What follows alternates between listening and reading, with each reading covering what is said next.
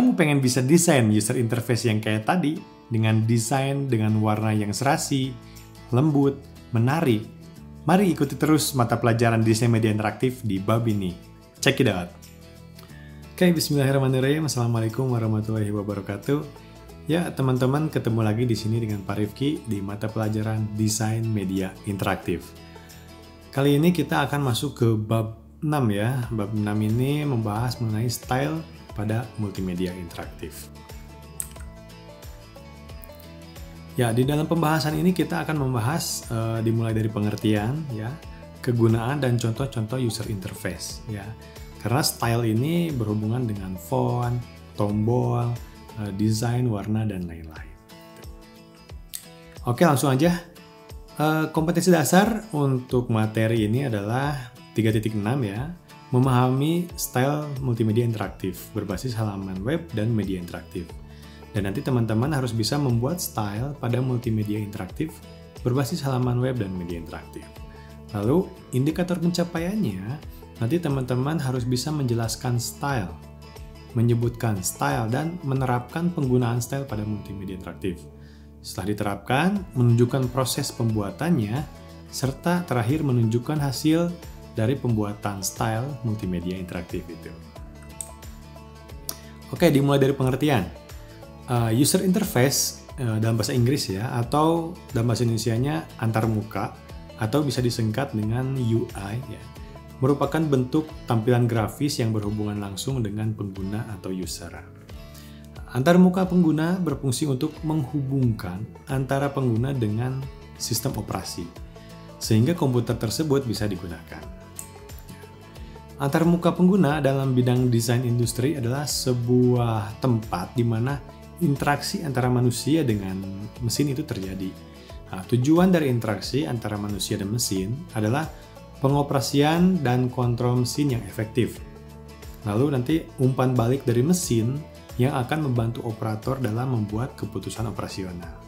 Nah, contoh sederhananya adalah ketika kita menekan pedal gas di mobil atau menarik uh, gas di motor, maka uh, mesin mobil akan melaju atau mesin motor akan melaju.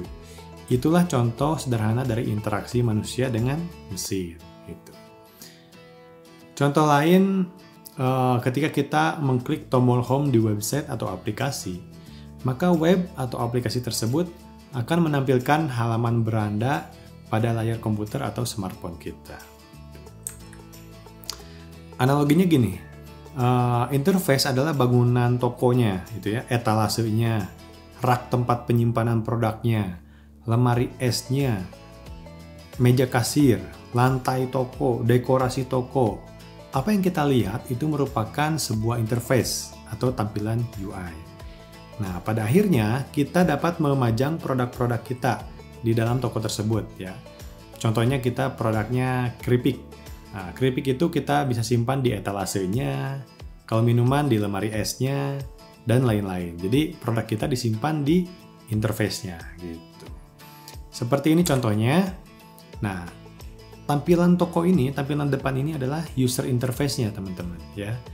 Jadi uh, mulai dari dekorasinya, kacanya, ya uh, mungkin kursinya itu adalah interface-nya. Seperti itu. Baik, uh, kegunaan user interface ya. Uh, eh, UI itu dirancang dengan desain yang memenuhi beberapa aspek elemen UI. Ya, yang pertama ada layout, ada gambar, ada logo, ada icon, ada warna, dan ada tipografi atau teks. Nah, penerapan UI ini dapat diaplikasikan uh, dalam membuat desain. Untuk apa aja? Yang pertama untuk website, ya, website apa pun aplikasi Android atau iOS, dan aplikasi komputer atau PC atau laptop kayak gitu. Nah, contohnya ini uh, ini adalah sebuah aplikasi Android ya, bisa diinstal di Android yang pernah Bapak bikin itu mengenai pembelajaran multimedia interaktif.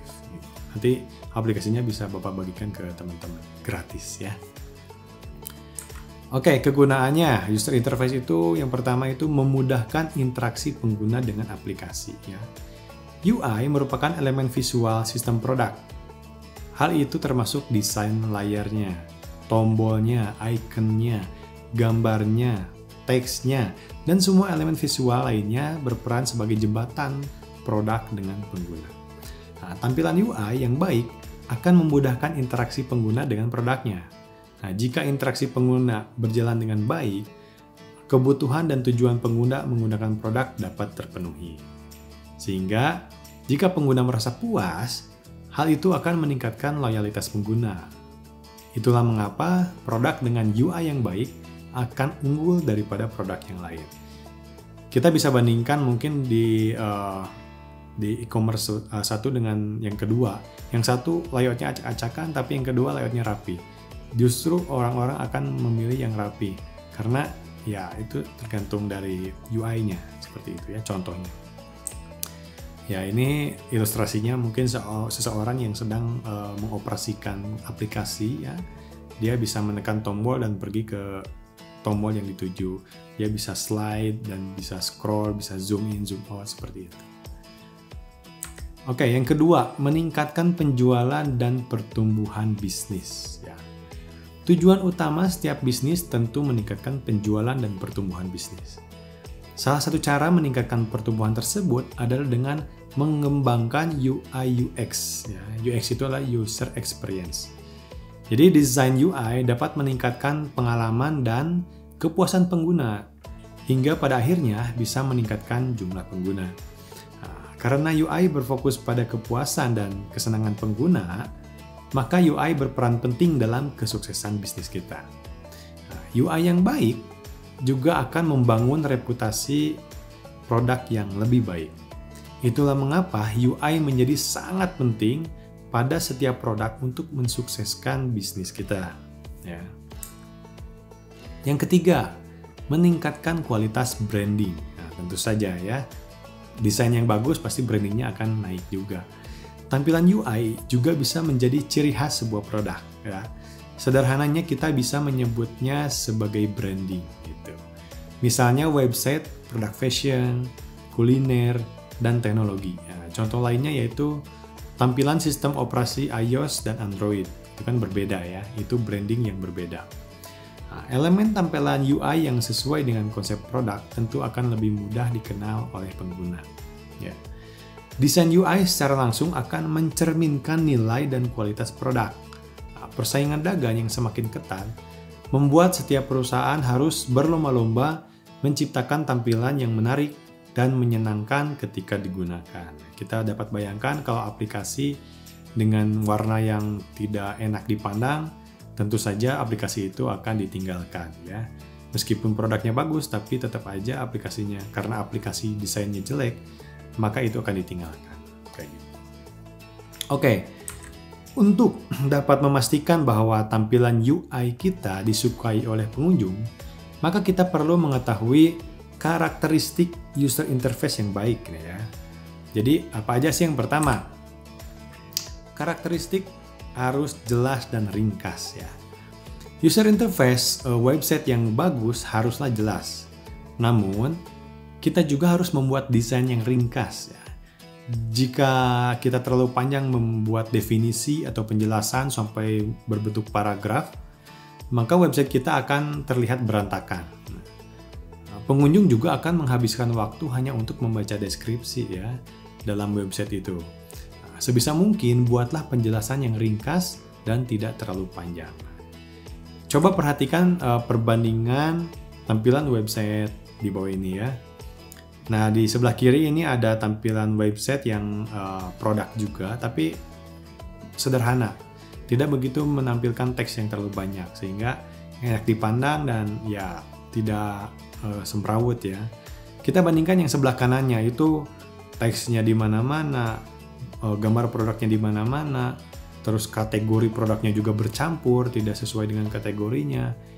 Nah ini pasti akan ditinggalkan oleh pengunjung gitu ya. Meskipun barangnya bagus, harganya murah, nah ini tidak ada mungkin tidak ada dapat kesempatan untuk pengunjung uh, berkunjung ke sini gitu ya. Selanjutnya desainnya harus responsif. Nah, maksudnya responsif ini adalah desain website yang responsif membuat pengunjung dapat mengakses website dari berbagai perangkat seperti PC desktop atau laptop, dari tablet dan smartphone dengan baik. Ya. Jika pengunjung website membuka website dari layar ponsel, maka tampilan website kita akan e, menyesuaikan sesuai dengan resolusi ponsel kita. Dibuka dengan tablet, tampilan website akan menyesuaikan dengan tab kita. Dibuka dengan komputer atau laptop, maka akan menyesuaikan dengan resolusinya. Itulah responsif ya. Jadi tampilan itu dapat dibuka di berbagai media gitu. Selanjutnya, karakteristiknya informasi terstruktur ya. Membuat tampilan UI dengan informasi yang terstruktur bisa dilakukan dengan memilih jenis dan warna font yang senada. Ya. Untuk beberapa informasi yang ditonjolkan, kita bisa menambah ukuran font ya. Bisa saja ukuran fontnya dibesarin ya atau di bold atau dimiring gitu ya. Agar tidak tumpang tindih, kita sebaiknya tidak memasukkan banyak elemen yang terlalu tidak terlalu penting sehingga membuat tampilan berantakan. Kita lihat lagi perbandingan gambar yang tadi ya. Terstruktur informasinya ya dimulai dari uh, judul yang di atas itu, lalu di teks agak kecilnya ada subjudulnya ya. Ke bawah lagi ada uh, keterangan produknya singkat aja ya, tidak terlalu banyak. Ke bawahnya lagi ada gambar produknya. Mungkin kalau diklik gambar produknya muncul detailnya. Ke bawah lagi mungkin bisa ditambahkan kontaknya ya ke bawah lagi mungkin bisa ditambahkan informasi map lokasi dari tokonya gitu. Ini terstruktur informasinya. Kita bandingkan yang dengan gambar yang sebelah kanan. Ya. Sebelah kanan ini ya kalau kita lihat ini di mana strukturnya gitu ya, di mana uh, subjudulnya, di mana produknya juga tercampur aduk gitu ya, tidak terstruktur. Selanjutnya harus konsisten tentu saja. Konsistensi pada desain interface akan memudahkan pengguna memahami tampilan website kita. Nah, pengguna bisa mempelajari fungsi-fungsi tombol, icon, maupun tabs yang ada pada website kita atau aplikasi kita. Ya. Apabila desain tampilan website kita tidak konsisten, pengguna harus mempelajari fungsi-fungsi tersebut dari awal. Ya, beberapa halaman yang terdapat pada website atau aplikasi sebisa mungkin memiliki desain yang tidak terlalu berbeda. Ya, jadi uh, kita pernah bahas di mata pelajaran desain mungkin ya. Jadi desainnya harus uh, konsisten dari halaman awal sampai halaman akhir.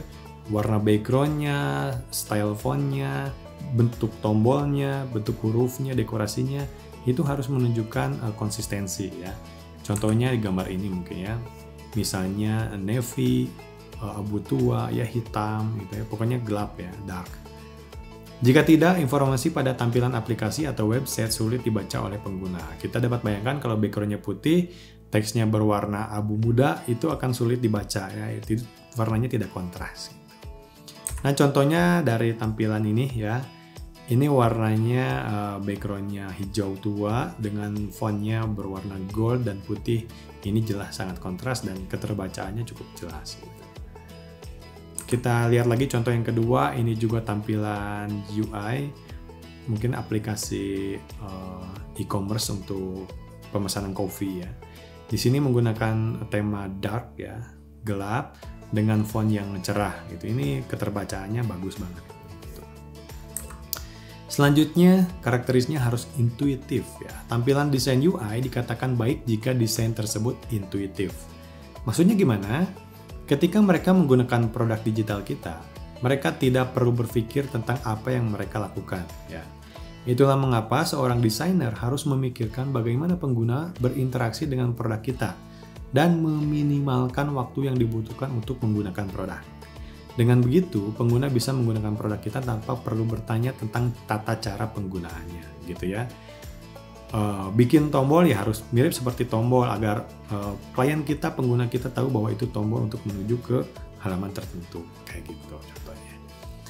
Oke, terima kasih banyak untuk materi hari ini. Uh, mudah-mudahan teman-teman nanti dapat belajar UI yang lebih baik, dapat mempraktekannya karena aplikasi dengan desain yang baik, uh, e-commerce dengan desain yang baik itu akan meningkatkan uh, penjualan produk yang teman-teman pasarkan. Terima kasih untuk hari ini. Wabillahi taufiq wal hidayah. Wassalamualaikum warahmatullahi wabarakatuh.